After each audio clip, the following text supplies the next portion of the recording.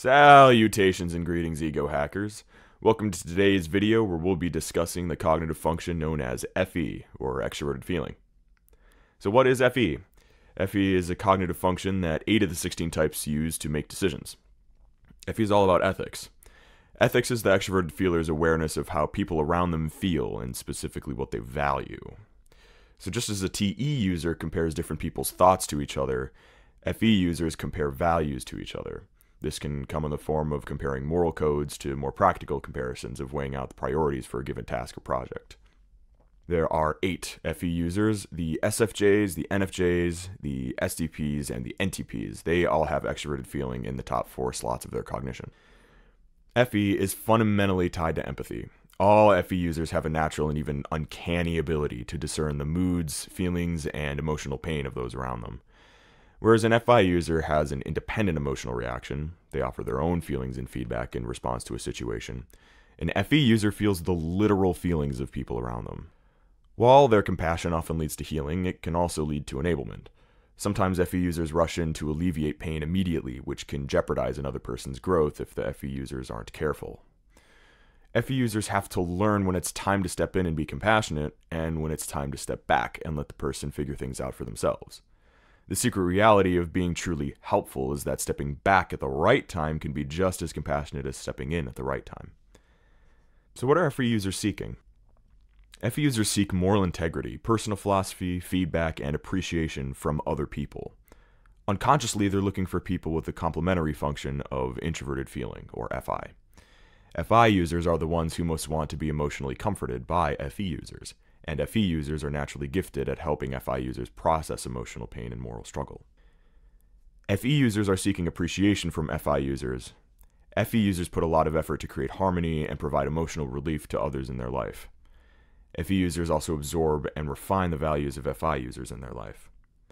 But more than anything, an FE user wants others to value them enough to invest in them. That's why we refer to FE's complementary function, FI, as the investment function. An FE user flourishes when others invest their own values, philosophy, and so forth into the FE user.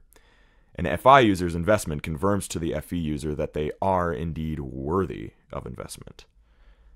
Not only will the FE user continue to comfort and provide care to those who invest in them, but it helps the FE user feel valued enough to be honest with the FI users in their life.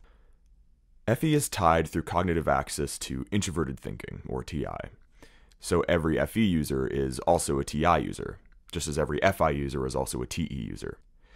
So, what is the significance of this? It demonstrates how an FE user can actually heal others. TI adds the logical structure to help guide the FE user into taking action. TI processes other people's feeling and seeks to understand what specifically can be done to help a person. If somebody is all empathy and no logic, they will only relieve pain and become a doormat whose only purpose is to give themselves away to other people. They'll comfort others, but they won't heal them. When the FE user utilizes their TI, they start to see who they should comfort and who they should leave alone.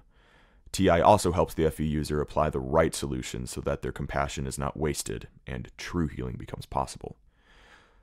How can extroverted feelers make the right decisions? As stated in the beginning, FE is a decision making function. It gathers the values of the people around them and compares them against each other to find the best values. In this way, FE users are like treasure hunters of value, sifting through the sands and digging through the earth of competing values to find gems in each value system.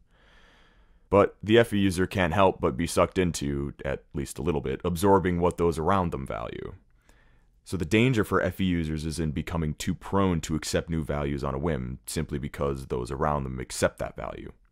If they value it, then it must be valuable, is an example of an immature FE user's perspective on ethics. For an extroverted feeler to practice FE in maturity, they must also utilize their TI function.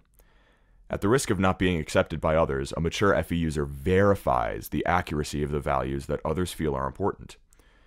Just because a person values a specific thing doesn't make it true.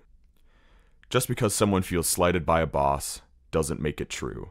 Just because we feel like doing harm to someone who angered us doesn't make it right. If the FE user does not verify the truth in other people's values, it will lead to enablement. And when enough enablement is permitted, destruction of families, groups, cultures, and even entire nations will follow. But armed with the truth and courageous enough to verify others' values, FE users can become dynamic and effective with their compassion. So, truthful compassion, then, is the expression that FE users should seek in all situations. Within truthful compassion, an FE user's empathy becomes a valuable and rare resource. So, truthful compassion, TI plus FE, impacts others with extreme potency, providing the best path for actual lasting healing. And in the process of healing others, FE users can find healing for themselves too. If you liked this video, be sure to leave a like and a comment down below. And until next time, thank you for watching.